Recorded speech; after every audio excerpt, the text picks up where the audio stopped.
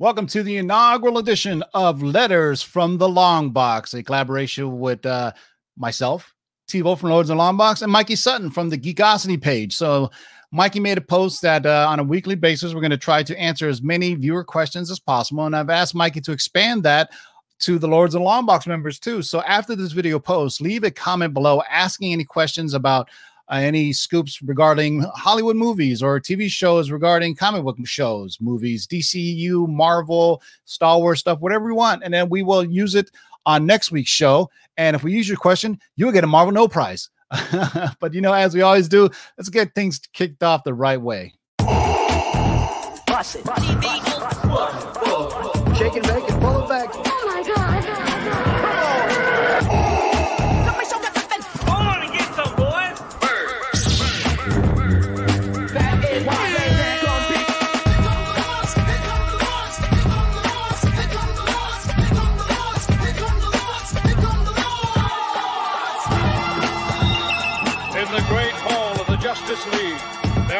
Assembled the world's three greatest heroes, created from the cosmic legends of the universe. Their mission to fight injustice, to right that which is wrong, and to serve all mankind.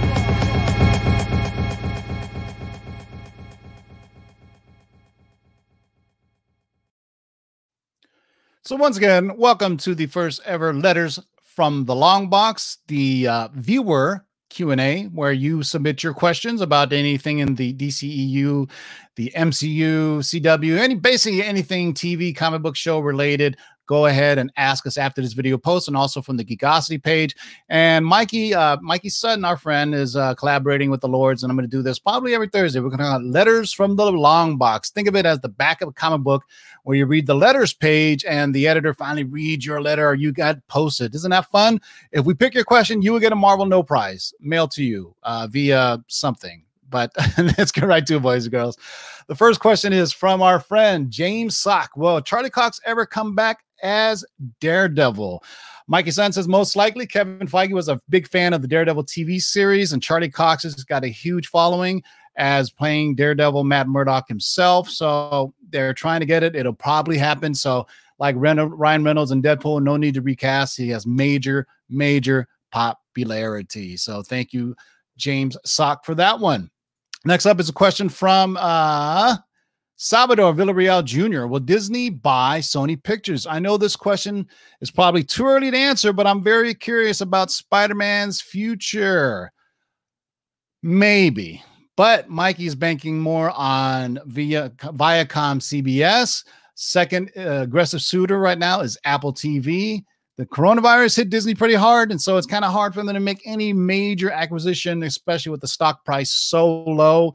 But recently, if you notice, Sony's been kind of uh, selling some of their bits and pieces here and there. They just got rid of uh, the newest Tom Hanks World War II film over to Apple TV.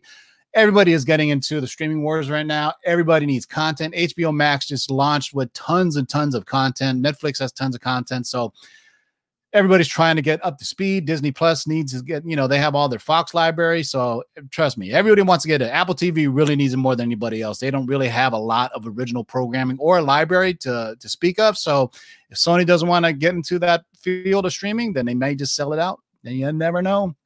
All right. Next question up is coming from Kyle Barzini. Will there be a Spider Man Deadpool team up down the line? Mikey says yes. He's been hearing about a Spider Man and Amazing Friends movie with Deadpool for quite a while now. Nothing has moved forward yet, but it's only a matter of time for it to happen. Obviously, they would have to tone Deadpool down a lot for that to happen. But one of the most popular team ups in the comics was a Spider Man Daredevil miniseries. I think it went six issues, got so popular that they end up making it an ongoing. Uh, so you never know. Two of the most popular Marvel characters together, it would make a billion dollars. But Deadpool would have to tone down just a wee bit to meet Peter Parker in his young uh, or late teenage years, or maybe even early 20s. Next question is comes up from, and I hope you're saying your name right. I always see you. So, Kieran Benjamin Bug, will Lady Sif show up in the MCU again?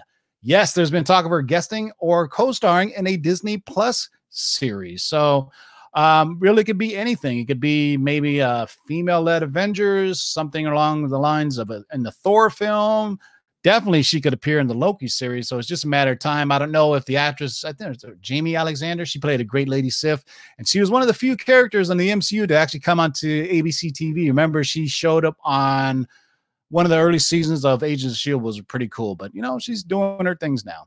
All right, next up, and I hope you say your name right. I'm gonna say your name is Grant uh Fuchs. I don't want to pronounce it incorrectly and get a, uh ding here. Grant Fuchs asks, have you heard any updates on WB and the Ezra Miller situation? Uh, Mike says, all quiet on the Western Front. WB was hoping the controversy would fade, and it has. And no charges were filed against Ezra Miller, which really helped his cause. And also, there's quite a few things have been happening in 2020. I don't know if you noticed it. So all this bad news is good for uh, Ezra Miller, and all of his stuff went deep, deep into the back burner. It really helps his cause that there's no legal standpoint, meaning that he had no official charges put against him. So we'll see where that goes. So time heals all wounds, right? You remember the whole James Gunn thing? He was kicked off of Guardians Galaxy. Had a little time come back, and then he's coming back and he's doing Guardians of Galaxy 3. So this is how the PR cycle works in Hollywood sometimes. Last question is from Eugene Yang. Will there be a Lucifer season five? And will Constantine be in it? Uh, seasons five and six, yes. Haven't heard anything about John Constantine appearing, but it's possible. I do believe uh, Lucifer has kind of had his second win on Netflix and it's a lot more, uh, more popularity uh, on Netflix. Uh, this is just coming from me. I enjoyed the first uh, few seasons of it. Um, Constantine rumors have been battled around uh, quite a while now. I mean, the character that plays Constantine, the actor that plays Constantine, is is pretty much perfect to the point where he voiced him in the Apokolips War animated feature. If you haven't seen that, it's great DC animated movie that kind of um, how do I say this? It kind of resets or re- is going to reboot the DC EU in the animated universe. Anyway, the first movie coming out that is Superman Man of Tomorrow, I believe, is going to be the reset of the DC animated universe. So Apokolips War was kind of the end of that. Uh, but uh, you know, to make a long story short, Constantine voiced him. The actor voiced the character Constantine in the animated film, so he's kind of like the perfect person to play the role of Constantine, and hopefully he'll be in Swamp Thing. Um, so you know, that's it, man. So nice six easy questions. So if you have any questions like that that you'd like to answer, Mikey will post another uh, segment like this on Geekosity. Also, if you want, we will comb through your YouTube questions as well. So after this video posts, leave a comment below. And if we use your question, you'll get a pat on the back and a Marvel No prize. So we will see you guys next Tuesday for the CovrPrice top 10. Until next time, boys and girls, keep digging in those long boxes. Peace out, everybody. Stay safe.